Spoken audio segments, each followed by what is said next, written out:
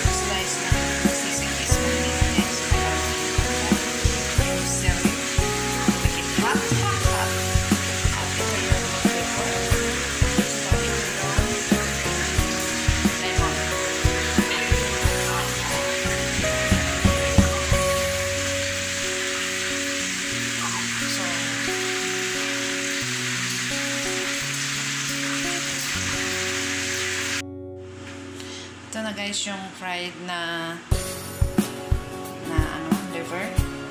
So, slice na natin siya.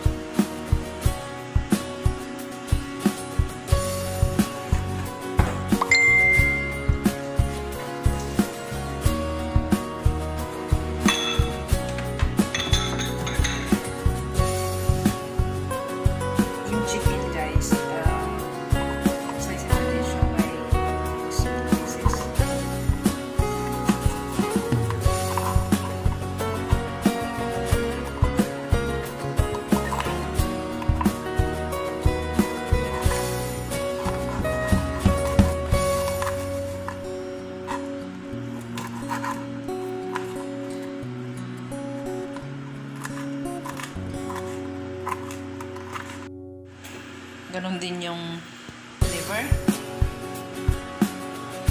Slice and then by tiny pieces din. Yung liver pala guys, hindi siya dapat masyadong ano, tostado